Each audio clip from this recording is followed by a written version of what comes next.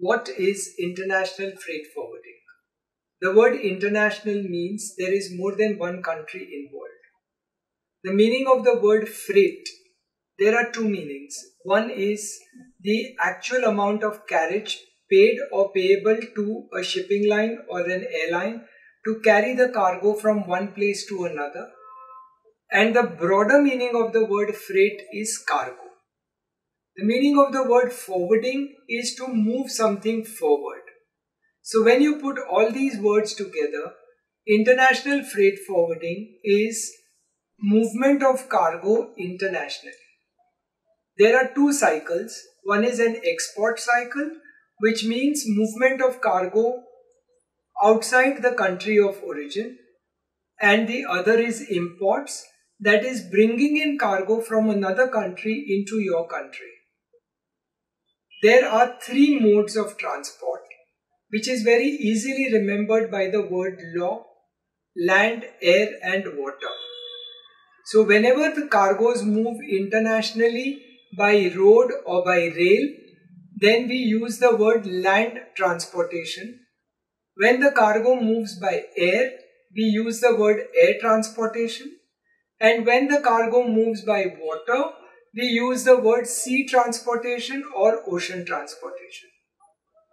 But there is also one other model which is possible and that is a combination of more than one mode of transport.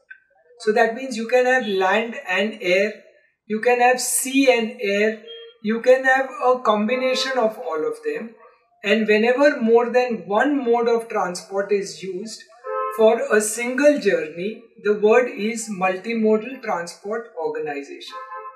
In all the three modes of transport or a combination of transport, what needs to be looked at? What are the points which one needs to check correctly? One is what is the cargo? What is the packaging done? Whether it is bags, it is cartons, it is crates. What is the size of the bags? What is the weight of the bags? And how do you want the journey to be done? Whether it has to be done by land by air by water or by a combination. So it is the job of a person who is known as a freight forwarder. That is a person who forwards the cargo and who takes responsibility for movement of the cargo. In every form of transportation it is important to find out what is the ratio of the weight and the volume because always the carrier would like to charge you for whichever is larger. It is also necessary for you to understand what are the documents that are required.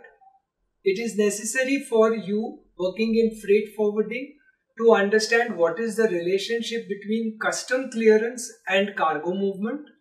What is the relationship of the documentation which has to be done at origin and at destination to complete the carriage. It is important for you to understand which are the countries involved and what are the country specific issues that one needs to take care of. It is important for us to also understand what is the amount of freight to be collected and where it is to be paid, whether it is to be paid in India or it is to be paid in a foreign country. One of the most important things that somebody working in freight forwarding has to know is Incoterms.